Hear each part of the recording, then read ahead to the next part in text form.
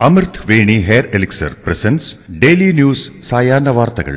Powered by Pulimoottil silks. K S F E. Wow ഇയാളുടെ മുടിക്കിപ്പോ നല്ല ഉള്ള നീളം വന്നല്ലോ. എന്റെ മുടി നോക്ക് നീ നിന്റെ വൈറ്റമിൻ ഡി ലെവൽസ് ഒന്ന് ചെക്ക് ചെയ് വൈറ്റമിൻ ഡിയുടെയും ഈസ്ട്രോജന്റെയും കുറവാണ്. മിക്ക ലേഡീസിന്റെയും ഹെയർ പ്രോബ്ലംസിന് പ്രധാന കാരണം. സ്ത്രീകളുടെ മുടി വളർച്ചയ്ക്കും ശക്തിക്കും അത്യാവശ്യമായ വൈറ്റമിൻ ഡിയാലും ഹെർബൽ ഈസ്ട്രോജനാലും സമ്പുഷ്ടമായ ആദ്യത്തെ hair elixir Amrit Veni hair elixir for women നമസ്കാരം. ഞാൻ പ്രവീജ് വിനീത് ഡെയിലി ന്യൂസിന്റെ സായന വാർത്തകളിലേക്ക് സ്വാഗതം. ഇന്ന് ഫെബ്രുവരി ഇരുപത്തിയൊൻപത് വ്യാഴാഴ്ച. കർഷക സമരത്തിനിടയിൽ വെടിയേറ്റ് കൊല്ലപ്പെട്ട യുവ കർഷകന്റെ മരണത്തിൽ കൊലക്കുറ്റം ചുമത്തി പഞ്ചാബ് പോലീസ് കേസെടുത്തു. സമരത്തിനിടെ ഖനോരി അതിർത്തിയിൽ മരിച്ച ശുഭ്കരൺ സിംഗിന്റെ അച്ഛൻ ചരൺജീത് സിംഗിന്റെ പരാതിയുടെ അടിസ്ഥാനത്തിൽ അജ്ഞാതർക്കെതിരെയാണ് കേസെടുത്തിരിക്കുന്നത്. പോലീസ് കേസെടുത്തതിന് പിന്നാലെ പട്യാല രവീന്ദ്ര ഗവൺമെന്റ് മെഡിക്കൽ കോളേജിൽ സൂക്ഷിച്ചിരുന്ന യുവാവിന്റെ മൃതദേഹം ഇന്ന് സംസ്കരിക്കും. അതേസമയം അതിർത്തിയിൽ സംഘർഷം ഉണ്ടാക്കിയ കർഷകരുടെ പാസ്പോർട്ട് വിസ മുതലായവ റദ്ദാക്കാനുള്ള നടപടി സ്വീകരിച്ചിരിക്കുകയാണെന്ന് ഹരിയാന പോലീസ്.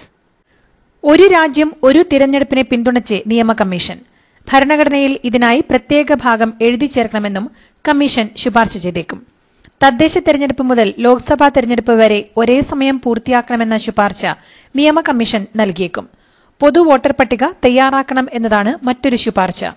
സർക്കാർ കാലാവധി പൂർത്തിയാക്കാതെ വീണാൽ എല്ലാ പാർട്ടികളും ചേർന്ന ഐക്യ സർക്കാരിനും നിർദ്ദേശമുണ്ട്.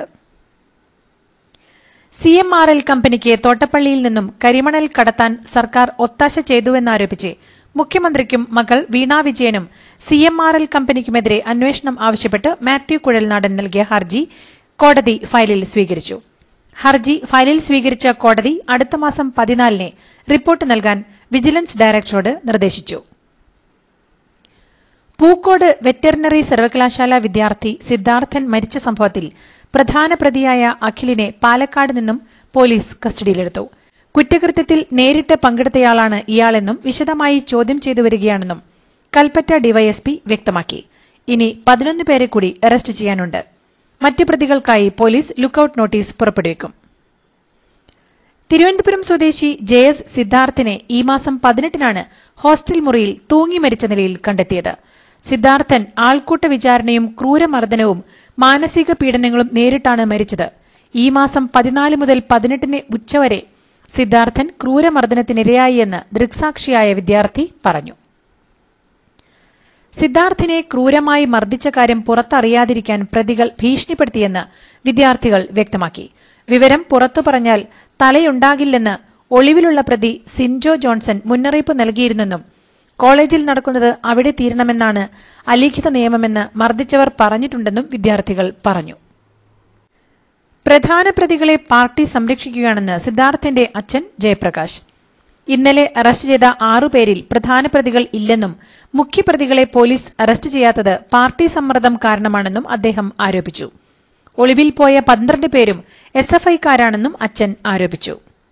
സിദ്ധാർത്ഥന്റെ മരണത്തിൽ പ്രതികൾ ഏത് സംഘടനയിൽപ്പെട്ടവരാണെങ്കിലും നടപടിയെടുക്കുമെന്നും ആക്രമണത്തിന് ഒരു ന്യായീകരണവുമില്ലെന്നും മന്ത്രി പി രാജീവ് വ്യക്തമാക്കി. സിദ്ധാർത്ഥന്റെ മരണത്തിൽ ആരോപണ വിധേയരായ നാലുപേരെ എസ് എഫ് ഐ പുറത്താക്കി. കുറ്റക്കാരെ സംരക്ഷിക്കില്ലെന്നും ആരും ആക്രമിക്കപ്പെടരുതെന്ന നിലപാടാണ് സംഘടനയ്ക്കുള്ളതെന്നും എസ് എഫ് ഐ സംസ്ഥാന സെക്രട്ടറി പി എം ആർഷോ വ്യക്തമാക്കി.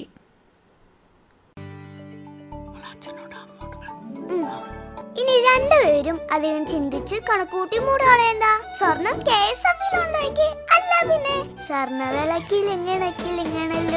K S F E max gold loan ഇപ്പോൾ സ്വർണവിലയുടെ തൊണ്ണൂറ് ശതമാനവും വായ്പയായി ലഭിക്കുന്നു. മാക്സിമം കയ്യിൽ കിട്ടുമ്പോൾ മറ്റെവിടെ പോകാൻ? സർക്കാർ വ്യക്തമായ ധാരണയോടെയാണ് ലോകായുക്ത വിഷയം കൈകാര്യം ചെയ്തതെന്ന് സിപിഎം സംസ്ഥാന സെക്രട്ടറി എം വി ഗോവിന്ദൻ. കേന്ദ്ര ഗവൺമെന്റ് കൊണ്ടുവന്നതിന് തുല്യമായ നിയമഭേദഗതിയാണ് കേരള സർക്കാരും കൊണ്ടുവന്നത്. കേരളത്തിലെ ജനങ്ങൾക്ക് അനുകൂലമാവാതിരിക്കാൻ വേണ്ടിയാണ് ഗവർണർ പ്രസിഡന്റിനെ ബില്ലയച്ചത് അയച്ചത്. എന്നാൽ ബിൽ പ്രസിഡന്റ് അംഗീകരിച്ചതോടെ ഗവർണർക്ക് തന്നെ തിരിച്ചടിയായെന്നും എം വി ഗോവിന്ദൻ പറഞ്ഞു. ലോകായുക്ത ഭേദഗതി ബില്ലിന് രാഷ്ട്രപതി ഭവൻ അംഗീകാരം നൽകിയ നടപടി സർക്കാരിന്റെ നേട്ടത്തിനപ്പുറം ഭരണഘടനാ സംവിധാനങ്ങളുടെ വിജയമായി കാണുന്നുവെന്ന് മന്ത്രി പി രാജീവ്. ഗവർണർ അന്ന് തന്നെ ഒപ്പുവെക്കേണ്ടതായിരുന്നു. പ്രതിപക്ഷത്തിന്റെ എല്ലാ ചോദ്യങ്ങൾക്കും ഉത്തരം നൽകിയിരുന്നു. പിന്നെ ചോദ്യങ്ങൾ ഉണ്ടായില്ലെന്നും ലോക്പാൽ ബില്ലിന് അനുസൃതമാണ് ഈ നിയമത്തിലെ വ്യവസ്ഥകളെന്നും മന്ത്രി വ്യക്തമാക്കി. കെ പി സി സി അധ്യക്ഷൻ കെ സുധാകരൻ ലോക്സഭാ തെരഞ്ഞെടുപ്പിൽ മത്സരിക്കാനില്ലെന്ന് ഹൈക്കമാൻഡിനെ അറിയിച്ചെന്ന് സൂചന. കെ പി സി സി അധ്യക്ഷനായതിനാൽ തനിക്ക് മത്സരിക്കാൻ താൽപര്യമില്ലെന്ന് നേരത്തെ തന്നെ സുധാകരൻ ദേശീയ നേതൃത്വത്തെ അറിയിച്ചിരുന്നു. സി പി എം നേതാവ് പി ജയരാജനെ വെട്ടിക്കൊലപ്പെടുത്താൻ ശ്രമിച്ച കേസിൽ ഒരാളൊഴികെ മറ്റെല്ലാ പ്രതികളെയും വെറുതെ വിട്ടു. രണ്ടാം പ്രതി ചിരുക്കണ്ടോത്ത് പ്രശാന്ത് ഒഴികെയുള്ള എട്ട് പ്രതികളെയാണ് ഹൈക്കോടതി വെറുതെ വിട്ടത്. ആർ എസ് എസ് ജില്ലാ താലൂക്ക് കാര്യവാഹക് ഉൾപ്പെടെയുള്ളവരായിരുന്നു കേസിലെ പ്രതികൾ. വന്യജീവി ആക്രമണങ്ങളിൽ എട്ട് പേരുടെ ജീവൻ നഷ്ടമായിട്ടും അധികാരികൾ നിസ്സംഗത കാണിക്കുകയാണെന്ന് ആരോപിച്ച് പ്രമേയം പാസാക്കി ഇടുക്കി രൂപത.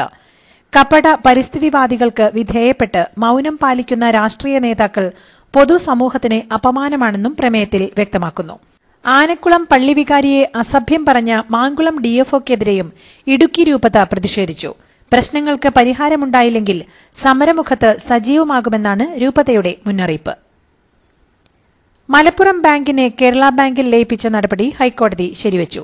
ലീഗ് മുൻ എം എൽ എയുടെയും പ്രാഥമിക ബാങ്കുകളുടെയും ഹർജികളും റിസർവ് ബാങ്ക് നിലപാടും കോടതി തള്ളി.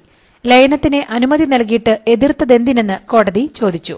സഹകരണ നിയമത്തിലെ ഭേദഗതി അസാധുവാക്കണമെന്നായിരുന്നു ആർ ബി ഐയുടെ വാദം. വിവാദ പരാമർശത്തെ തുടർന്ന് വയനാട് ബി ജെ പി ജില്ലാ പ്രസിഡന്റ് കെ പി മധുവിനെ ജില്ലാ പ്രസിഡന്റ് സ്ഥാനത്ത് നിന്ന് നീക്കി. ജില്ലാ സെക്രട്ടറി പ്രശാന്ത് മലവയലിലാണ് പകരം ചുമതല. വന്യജീവി ആക്രമണത്തിൽ പ്രതിഷേധിച്ചുള്ള ഹർത്താലിനിടെ വയനാട് പുൽപ്പള്ളിയിലുണ്ടായ സംഘർഷത്തിന് കാരണം ലോഹയിട്ട ചിലരാണെന്നായിരുന്നു കെ പി മധുവിന്റെ പരാമർശം. ഈ പരാമർശത്തിനെതിരെ മാനന്തവാടി രൂപതാ ബിഷപ്പ് മാർ ജോസ് പോരുന്നേടവും രംഗത്തെത്തിയിരുന്നു. കേരള യൂണിവേഴ്സിറ്റിയുടെ തിരുവനന്തപുരം കാര്യവട്ടം ക്യാമ്പസിനുള്ളിൽ കണ്ടെത്തിയ മനുഷ്യന്റെ അസ്ഥിക്കുടം ഇരുപത് അടി താഴ്ചയുള്ള പഴയ വാട്ടർ ടാങ്കിനുള്ളിൽ നിന്നും പോലീസും അഗ്നിരക്ഷാ സേനാംഗങ്ങളും കൂടി പുറത്തെടുത്തു. ഇന്നലെയാണ് ക്യാമ്പസിലെ ജീവനക്കാർ ബോട്ടണി ഡിപ്പാർട്ട്മെന്റിനോട് ചേർന്ന വാട്ടർ ടാങ്കിന്റെ മാൻഹോൾ വഴി അസ്ഥിക്കൂടം കണ്ടത്. വിവരമറിയിച്ചതിനെ തുടർന്ന് അസ്ഥിക്കൂടത്തിനൊപ്പം തൊപ്പി ടൈ റീഡിംഗ് ഗ്ലാസ് എന്നിവയും കണ്ടെത്തിയിട്ടുണ്ട്. അതേസമയം അസ്ഥിക്കൂടം തലശ്ശേരി സ്വദേശിയുടേതാണോ എന്ന് സംശയം. അസ്ഥിക്കൂടത്തിന് സമീപത്ത് നിന്ന് തലശ്ശേരി വിലാസത്തിലുള്ള ഡ്രൈവിംഗ് ലൈസൻസ് കിട്ടിയതാണ് ഇത്തരത്തിലൊരു സംശയമുണ്ടാകാൻ കാരണം.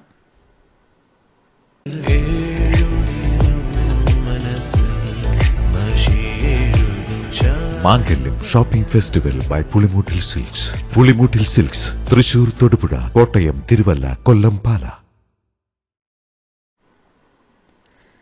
Lok Sabha തെരഞ്ഞെടുപ്പിൽ തമിഴ്നാട്ടിൽ സിപിഎമ്മും സിപിഐയും രണ്ട് വീതം സീറ്റുകളിൽ മത്സരിക്കും. രണ്ടായിരത്തി പത്തൊൻപതിലും രണ്ട് സീറ്റുകളിലായിരുന്നു ഇരു പാർട്ടികളും മുന്നണിയിൽ മത്സരിച്ചിരുന്നത്. രണ്ടിടത്തും ഇരു പാർട്ടികളും ജയിക്കുകയും ചെയ്തിരുന്നു. ഹിമാചൽ പ്രദേശിൽ ബി ജെ പിക്ക് വോട്ട് ചെയ്ത കോൺഗ്രസ് എം എൽ എമാരെ കൂറുമാറ്റ നിരോധന നിയമപ്രകാരം സ്പീക്കർ അയോഗ്യരാക്കി. ബാക്കിയുള്ള എം എൽ എമാരെ കൂടെ നിർത്താൻ മുഖ്യമന്ത്രി സുഖ്വിന്ദർ സിംഗ് സുഖു ഷിംലയിൽ യോഗം വിളിച്ചു ചേർത്തു. അതോടൊപ്പം എ ഐ സി സി നിരീക്ഷകർ കോൺഗ്രസ് അധ്യക്ഷനെ ഇന്ന് റിപ്പോർട്ട് നൽകും. തെരഞ്ഞെടുപ്പിൽ ആദ്യ സ്ഥാനാർത്ഥി പട്ടിക ബി ജെ പി നാളെ പുറത്തിറക്കുമെന്ന് സൂചന. നാനൂറ് സീറ്റ് എന്ന ലക്ഷ്യവുമായി ഇറങ്ങുന്ന ബി ജെ പി ബോളിവുഡിലെ മുൻനിര താരങ്ങൾ മുതൽ പ്രാദേശിക താരങ്ങളെ വരെ പരിഗണിക്കുന്നു എന്നാണ് വിവരം. മുൻ എം പിയും ചലച്ചിത്ര താരവുമായ ജയപ്രദയെ മാർച്ച് ആറിനകം അറസ്റ്റ് ചെയ്ത് ഹാജരാക്കാൻ യു കോടതിയുടെ ഉത്തരവ്. തെരഞ്ഞെടുപ്പ് ചട്ടലംഘനവുമായി ബന്ധപ്പെട്ട ഒരു കേസിൽ ഏഴ് പ്രാവശ്യം സമൻസ് അയച്ചിട്ടും ഹാജരാകാതിരുന്ന സാഹചര്യത്തിലാണ് ജയപ്രദയെ അറസ്റ്റ് ചെയ്ത് ഹാജരാക്കാൻ ഉത്തർപ്രദേശിലെ രാംപൂരിലെ കോടതി ഉത്തരവിട്ടിരിക്കുന്നത്. മധ്യപ്രദേശിലെ ദിണ്ടോരിയിൽ പിക്കപ്പ് വാഹനം തലകീഴായി മറിഞ്ഞ് പതിനാല് പേർ മരിച്ചു. ഇരുപത്തിയൊന്ന് പേർക്ക് പരിക്കേറ്റു. പ്രദേശത്ത് നടന്ന ഒരു പരിപാടിയിൽ പങ്കെടുത്ത ശേഷം ഗ്രാമീണർ പിക്കപ്പിൽ മടങ്ങുന്നതിനിടെയായിരുന്നു അപകടം. ഡ്രൈവർക്ക് വാഹനത്തിന്റെ നിയന്ത്രണം നഷ്ടമായതിന് പിന്നാലെ വാഹനം തലകീഴായി മറിയുകയായിരുന്നു. അൽ നസ്ർ അൽ ഷബാബ് മത്സരത്തിനിടെ അശ്ലീല ആംഗ്യം കാണിച്ചതിനെ പോർച്ചുഗീസ് സൂപ്പർ താരം ക്രിസ്ത്യാനോ റൊണാൾഡോയ്ക്ക് ഒരു കളിയിൽ സസ്പെൻഷനും മുപ്പതിനായിരം സൗദി റിയാൽ പിഴയും. മത്സരത്തിനിടെ മെസ്സി മെസ്സി എന്ന് ആർത്തുവിളിച്ച ആരാധകർക്ക് നേരെയായിരുന്നു ക്രിസ്ത്യാനോ റൊണാൾഡോയുടെ അശ്ലീല ആംഗ്യം. ഇതോടുകൂടി ഇന്നത്തെ ഡെയിലി ന്യൂസ് സായന വാർത്തകൾ സമാപിക്കുന്നു. ഡെയിലി ന്യൂസിന് വേണ്ടി വാർത്തകൾ വായിച്ചത് Pravija Vineeth. Daily news live dot in. വാർത്തകൾ വിരൽ തുമ്പിൽ.